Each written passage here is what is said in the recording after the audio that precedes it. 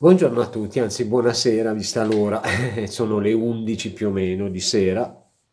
Ho aspettato un attimo a fare questo video anche se ho visto nel pomeriggio di oggi il, la gara. Comunque felpettina da brr che freddo che fa perché dobbiamo parlare di sci, anzi anche se dire brr che freddo che fa adesso non è veramente il caso, al massimo si può dire brr che palle, siamo in casa. Poi oggi vedevo video di gente incazzatissima perché c'era gente in giro, c'era un signore, non so di che paese fosse, ma penso fosse pugliese, vedendo l'accento, che diceva sono 15 giorni che sono in casa, esco, 6.000 persone su 10.000 e il resto è solo un piccolo quartiere, eccetera, eccetera. Vabbè, lasciamo perdere. Comunque, eh, Super G maschile di Interstoder, e andiamo a vedere come è andata.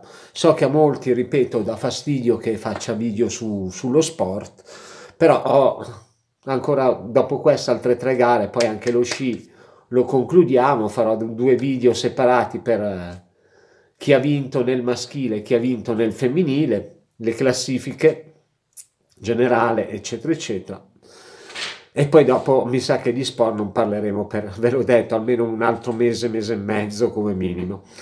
Comunque stavo dicendo Super G di Insterstoder, il primo a scendere è Krichmeier e sarà sicuramente un tempo di riferimento importante perché comunque Krichmeier è uno dei più bravi nelle discipline veloci. Il suo tempo è 1.33.08, adesso attendiamo la discesa degli altri per capire che gara ha fatto. Con il pettorale 7 scende Kilde, primo intermedio in luce verde di Libidine, perché aveva 46 centesimi di vantaggio, ma ahimè ha toccato con lo scarpino sullo sci un punto che se un attimino, come si suol dire, avete presente come, come nello sci, anche come nella moto, anche nello sci gli sciatori si spostano leggermente a destra o a sinistra in base a dove stava preparando la curva, ha forse spostato un po' troppo, tocca con lo scarpone, è andato giù, ha fatto per rialzarsi, si è capottato praticamente e quindi ciao ciao gara.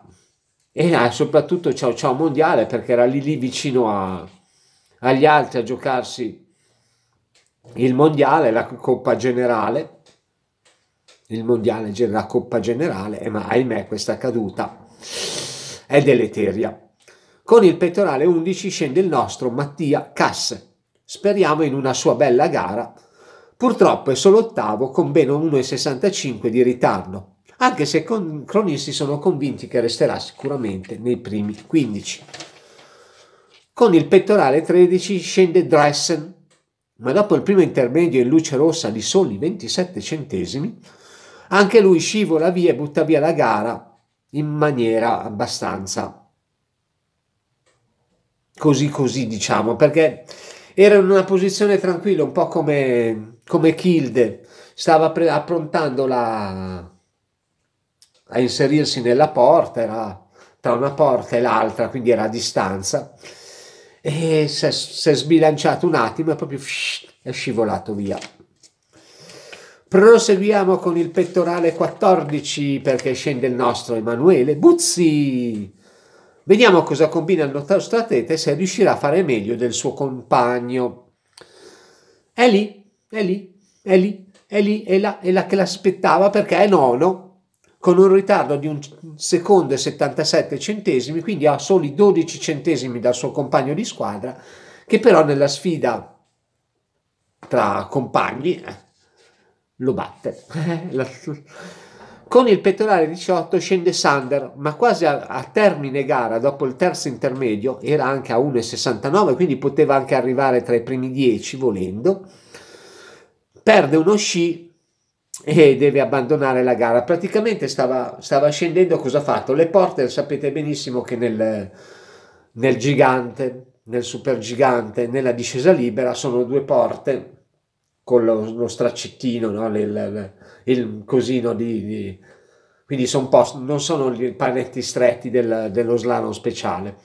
Cosa ha fatto? Ha preso dentro uno dei due paletti esterni, il paletto esterno, e quindi lo sci, tac, gli è partito via, e ha dovuto salutare la gara e meno male non si è fatto male perché si scende intorno ai 100 km orari e perdere uno sci a 100 all'ora non è propriamente il massimo comunque è riuscito a rimanere in piedi poi lasciarsi cadere ed evitare di farsi male con il pettorale 20 scende Walder ma anche lui dopo il terzo intermedio scivola e saluta la gara anche se comunque aveva un ritardino mica da ridere di 2 secondi e 65 centesimi.